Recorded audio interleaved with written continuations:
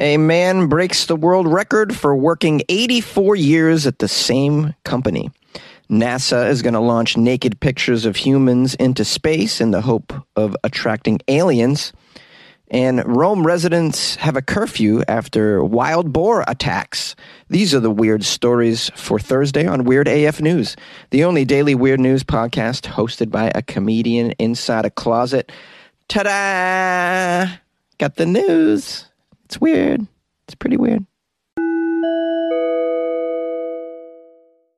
A 100 year old man broke a Guinness World Record for working at the same company for 84 years. This means he began at the age of 16. Still working at 100? This guy's an inspiration. And boring. My, my guess is he's very boring. But that's okay. Some people can be boring. I mean, you just want to eat bologna sandwiches every day for the rest of your life. That's your damn business. Let's get some information about this 100 year old Walter Orthmann. He's from Brazil. Walter Orthmann from Brazil with a name that doesn't sound like he'd be from Brazil, but okay. He broke the world record, though. That's what's important. He broke the Guinness World Record for the longest tenure at the same company. Uh, Orthmann was born on April 19th, 1922, in the small Brazilian town of Brusque. He started working at 15 to help his family with some financial issues. January 17th, 1938, he was hired as a shipping assistant for a textile company called Industrias Renaux. It's now known as RenauxView. He was quickly promoted to a sales position and then became a sales manager. He's been a sales manager ever since. For a thousand years! Sales. Now, he's actually been at the company only for 84 years. But that's enough to break the Guinness World Record for the longest tenure in the same company. Orthmann described this record as, quote, his proudest achievement. Oh, so cute. He said that focusing on the present was what drove him to make history. Here's a quote from Orthmann I don't do much planning, nor do I care much about tomorrow. All I care about is that tomorrow will be another day in which I will wake up, get up, exercise, and go to work. You need to get busy with the present moment. The present, not the past or the future. Here and now is what counts. Here and now. All right, Orthmann. if you say so. I'm not sure if this is living in the present, though, spending all your time at the same place forever. Get out, buddy. Get out there and see the world. The people that I know live in the present, they don't work at the same job for a 100 years. They don't. They go from place to place, they have experiences, they take some risks. Um, this is exactly the kind of mentality, though, that I would expect a guy to work at the same place for 84 years. All I care about is I wake up and get up and go to work. That's all I care about. he eats at the same breakfast nook, too, I'd, I'd imagine, every single day. Orders the same damn thing. I like a plain bagel with plain cream cheese. Every day for 174 years, a plain bagel and plain cream cheese. Why try other flavors? I live in the present. All there is, when you live in the present, is getting up, waking up, and eating that plain bagel with plain cream cheese.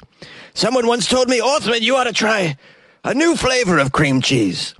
It's pumpkin cream cheese, and it comes around in the fall. You should try it. I said, No, I live in the present. I only have plain cream cheese on my plain bagel. Someone once suggested to me that I try what's called an everything bagel.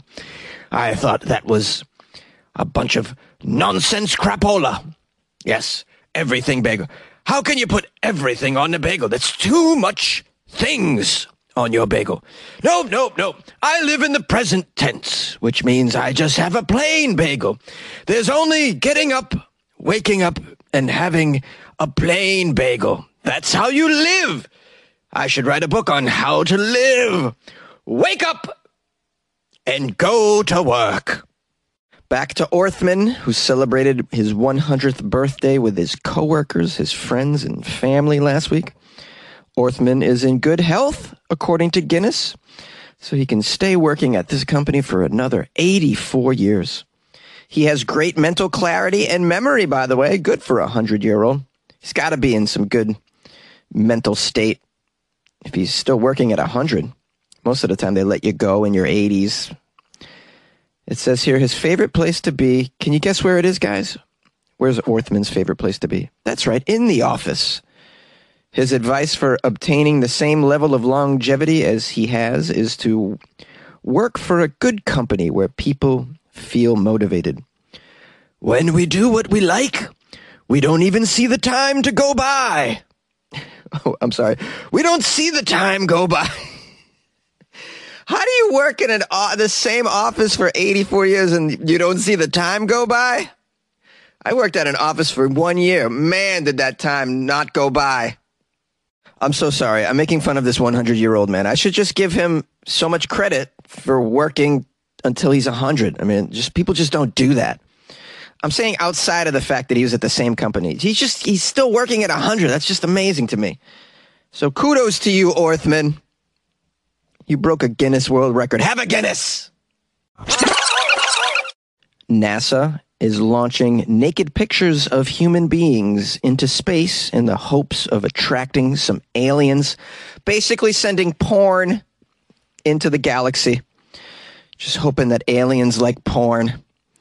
NASA scientists are very busy trying to make contact. They plan to launch pictures of naked human beings into space in the hope of luring aliens to us. The depictions will also include an invitation for aliens to respond. Um, this is if an intelligent alien race find these space nudes. Fortunately, the hypothetical aliens shouldn't be too shocked by these unsolicited nudes. The pictures aren't graphic photographs of naked humans, by the way, but instead it's a drawing of a naked man and a naked woman the man and women are waving in an attempt to look more inviting. Hi, come and visit us. Do you like naked humans? There's more of us. Come, come see the naked bodies. You'll, if you love this photo, you'll love Pornhub. NASA scientists revealed this image in a study that's part of a project called The Beacon in the Galaxy. I've uh, covered this beacon in the galaxy before. We can't stop reaching out to the aliens, guys. I I don't know how many more movies of aliens destroying humanity do you have to see before you stop inviting aliens? But this is what NASA seems to be all about. NASA's lonely. They want to talk to some aliens. Well, these scientists think the pixelated illustration of a naked man and woman waving hello could help us finally make contact with extraterrestrials. I love that they think an image of humans waving will help us make contact. Let's say they see a photo of us waving. Are they even going to know that that's an invitation? There are animals on this planet that don't recognize a human wave. Go ahead, wave at an ant. The ant has no clue. Wave at a bird. You think the bird understands you waving? And that's a creature that is not alien. It it grew up carbon based on the earth. Like we're surrounded by non-alien entities that don't understand a wave. You think an alien's going to get a wave, scientists? What are they paying these idiots? That's what I want to know. I mean, it's too much. It really is too much. Let's get a little quote from one of these NASA nerds. Well, logic suggests a species which has reached sufficient complexity to achieve communication through the cosmos would uh, very likely have attained high levels of cooperation amongst themselves and thus will understand the importance of peace and collaboration and understand the image is welcoming. Yeah. Let me tell you something, scientist. Uh, any alien species that has reached sufficient complexity to travel the entire cosmos or communicate throughout the entire cosmos is so advanced they they already know what's going on here you don't have to send a, a written invitation. They're already aware. That's implied in the phrase reached sufficient complexity to achieve communication through the cosmos, which you've just stated. like, really? If they are so advanced, they're just traversing all across galaxies. They've achieved faster than light speed travel, perhaps teleportation, some technology we don't even understand. They already know what we look like naked. It's just implied. if they're interested in us, then they can observe us and we won't even know about it. Trust me, we won't. You should, you work at NASA. You should know that. You should know this isn't the very first time that naked depictions of humans have been sent into space. The Pioneer plaques sent to space on the 1972 Pioneer 10 and 1973 Pioneer 11 missions also featured illustrations of a naked man and woman. So apparently, we've been sending nudes for decades. Send us your nudes. If you're going to send nudes, man, it shouldn't be a pixelated, horrible drawing. Just send like actual nudes of the hottest human beings on the planet. I don't know who those would be, but you know, try, man. Who do you guys think would be the best representations of hot nude earthlings? Call me with your with your vote. 646-450-2012. I expect some calls. I want to hear what male and female or identifying as male and female. I'm going to say Beyonce is one of them. Or, uh, oh, I love Salma Hayek still. Oh, I love her still. Do you think she'd hang out with me? You like podcasts? You're listening to my podcast. Maybe you thought to yourself, I'd like to make a podcast. Too difficult. No, not with Anchor. Anchor has free creation tools that allow you to record and edit your podcast from your phone or your computer. Anchor distributes your podcast to Apple, Spotify, Stitcher, and more. They have advertising integration, so you can even make a little money off your podcast. Everything you need to make a podcast in one place.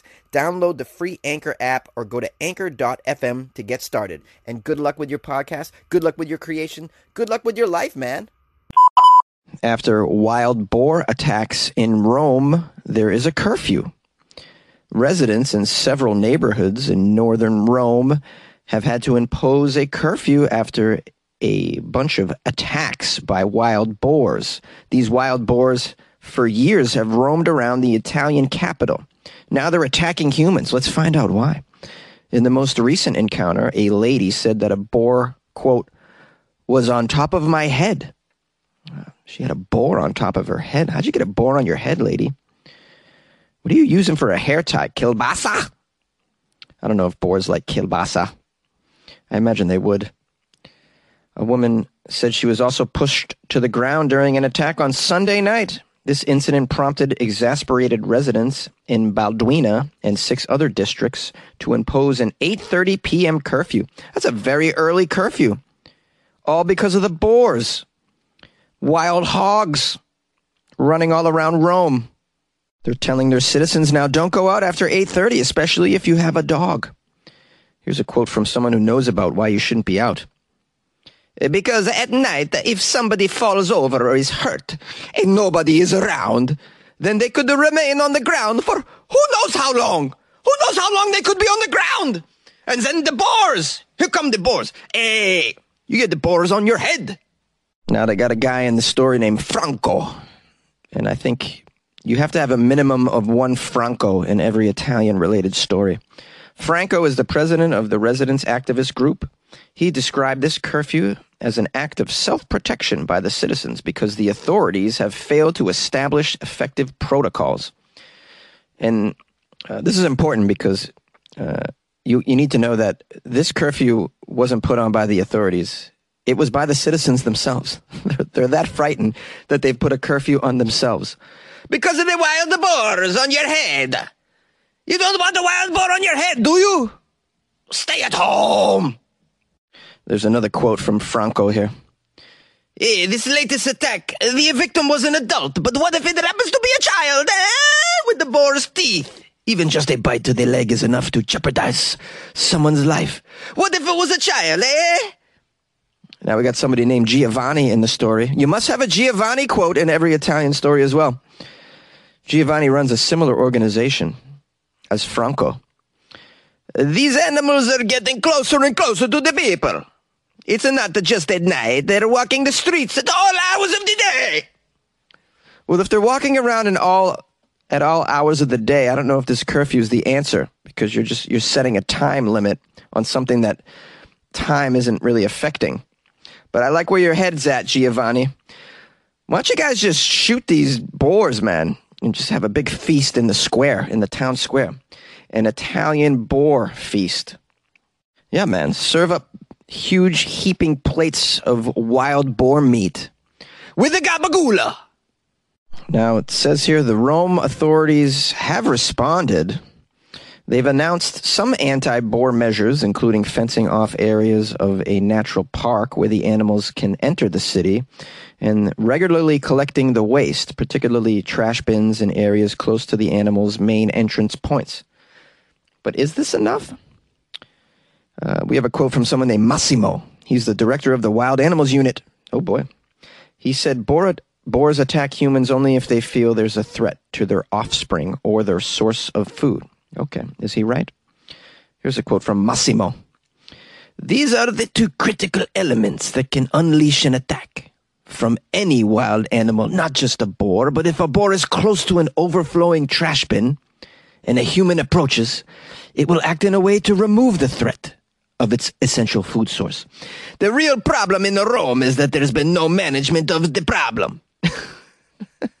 the real problem in Rome is that nobody's taking care of the problem. That's the best quote ever. The main problem of the boars in Rome are the boars in Rome. we need to get the Pope on this. well, you know, what are you going to do? No matter where you live, you must have huge problems. It just seems to be the way of the world these days. Not just a pandemic, you need a drought, you need fires, you need war, you need inflation. You just, the universe is just coming down hard, guys. Hopefully, the aliens will come and save us. They'll be attracted by our nude photos. hey, we need to get down there and save these hot humans. Well, that was a pretty good Weird AF News episode, I have to say. I had a lot of fun with it, and going into it, I just wasn't in the mood. You ever go to work and you're not in the mood? I don't know how that guy went to work for 84 years to the same place. I just, I'm already tired of being in this closet. I've been in here an hour. All right. Anyways, uh, yeah, ended up being okay. So thanks for thanks for being with me. I hope you enjoyed it, and we learned something about the world, the weird world in which we live. Yes, would you like to learn about the weird world that we live in? Well, listen to Weird AF News. I got a nice review of the podcast on Amazon. Let me read it. It's pretty funny too. It's from someone named Equal Equal Op Joker. The title is Chicken and Waffles, and I got five stars, and I'm so grateful. Whenever I get five stars, makes me very pleased. Equal Op Joker wrote, Your podcast has changed my life. I never knew Florida was such a dangerous place. Florida man needs to be studied to learn what his role was in the evolutionary scheme of things. I also never knew the perils of podcasting from a closet. You should do your Florida Fridays from the bathroom. That would be epic, plus a whole lot of new sounds for your soundboard. Flush. This podcast should be listed on the State Department website as a travel advisory for foreigners who might inadvertently travel to Florida otherwise. First of all, this individual is a good writer, very articulate, and hilarious. So big shout out to Equalop Joker. I love this review. It's so good. Um, and it offsets the bad reviews I got I don't understand these reviews where they come from. I really don't. This one's this one is amazing though. Thank you so much. I so appreciate that. You guys can leave me a review if you want. It helps. Amazon especially, uh, but also on uh, iTunes, also known as Apple Podcasts. On Spotify, on Spotify, you can't actually write a hilarious smart review like Equalop Joker did, but you can give five stars, which is pretty helpful as well. So. If you guys would like to support the show in those sorts of ways, that's very helpful. But also, uh, supporting by going to the Patreon and joining is another way to do it. I'm putting the call out there for uh, for questions. I'm going to do another Q and A video. I had a lot of fun with the last one, so and it, it seemed like everybody in the Patreon enjoyed that. My my responses are usually kind of funny. So we're going to do a Q&A video. Put your questions in the Patreon and I'll answer all of them on a video. We'll say next week sometimes. Uh, The Patreon can be joined by going to weirdafnews.com and clicking on the Patreon banner, or download the Patreon app and uh, do a search for Weird AF News, or go to patreon.com slash weird AF News. Tomorrow being Friday, I'm going to do Florida Friday. So that episode is only weird news from Florida from this week. If you come across if you come across any weird news from Florida, just send it my way. I'm already getting stories and I appreciate that. My email is funnyjones at gmail.com. You can tweet them at funnyjones or send them on Instagram in a DM at funnyjones as well. Thank you so much, and I look forward to tomorrow, Florida Friday. Okay, bye bye. Hello, Jonesy, my little wet dream Boston bean. It's the state of Florida calling. Hey, I was listening to yesterday's show and I heard about that drill me, oh, a dr- not drill me, drill sergeant over in Thailand who was making the recruits do something if they couldn't do their tasks. They couldn't do enough sit-ups or pull-ups or finish the march. He was making them drink semen mixed with fish sauce as a punishment. Ooh, punishment. Well, where do I sign up? Woo-hoo. I'll tell you. Private Florida. Reporting for duty. Or is that reporting for do me? I don't know, man. I've drank a lot of semen in my life. In fact, I just had some the other day. And I think that if it was mixed with fish sauce, that would be pretty amazing. So like, that doesn't sound like torture or a fire, fireable offense to me. That just sounds delicious. Now, being beaten with sticks, going into organ failure, all the other abuse on those Thai conscripts, that sounds rough. But semen mixed with fish sauce, that just sounds yummy. Hey Jonesy, it's Lily. Um, so the article you had about the limb lengthening procedure to make people taller, and I know you mentioned that, you know, you're not the tallest guy and that sometimes you wish you were taller. I think you, you know, you've said stuff like this on the show before. So I want to give you like a flip side perspective because I think as humans, we are never happy with what we have or what we've been given. And we always think like the grass is greener, right? So for me personally, like I have curly hair and it's really thick. I have a lot of hair my whole life. Um, and other women who have like more thin hair or straight hair that's hard to curl, like they look at me and they're like, "Oh, your hair's so great, I love it," and I'm like, "Oh no, no, no, no, no! Let me tell you how much time it takes to shampoo, condition, blow dry. Like my hair is a pain in the ass, and I hate it. Right? I wish I had thin, straight hair. Um, same as like you know, if you see a you know, if a woman sees another woman uh, with big boobs and she's like, oh, I wish I had bigger boobs. That's so great. And then like the chick with big boobs is like, no, I need a reduction because I have back problems. Like this is not great. This sucks. You know, so I think you should be happy with the height you are. I think shorter men, people in general should be happy because life as a tall person sucks. Let me tell you, like my husband is six foot one and it I mean, there's so many things like clothes don't fit right. He has to shop at certain stores. We literally have had to buy different a different vehicle when we get when we got married. I had to get rid of the car that I had because he didn't fit in it, and I loved that car, and that was like the worst thing ever was having to get rid of it. So like we have to plan the vehicles we can have. We had to get a bigger bed because, you know, the bed we had didn't fit, he didn't fit him. So we had to get a bigger bed and now like nothing else fits in our bedroom except for this huge bed. Um, what else? Like he has a hard time finding shoes that fit. He has to go to different clothing stores. Um, even like a lot of older homes that have lower ceilings, like if there's a ceiling fan, he'll walk into a ceiling fan and like he's only six foot one. Like that's not incredibly tall, you know. We know people that are six four, six six. Uh, my brother-in-law is six foot seven. It's even harder to be if you're that tall. Like if you're that tall, you need to be a professional basketball player to have the salary, like the amount of money to customize your life to fit your needs as a tall person. Like you need to be able to build a house with 12 foot ceilings so that you don't walk into a ceiling fan. You need to be able to buy like a giant vehicle and pay for all the gas, um, just in order to fit in it. So life as a tall person is not great. Um, speaking as somebody that's five foot four, let me tell you that I love being short and small because I can fit into small spaces. it sounds like I'm tight.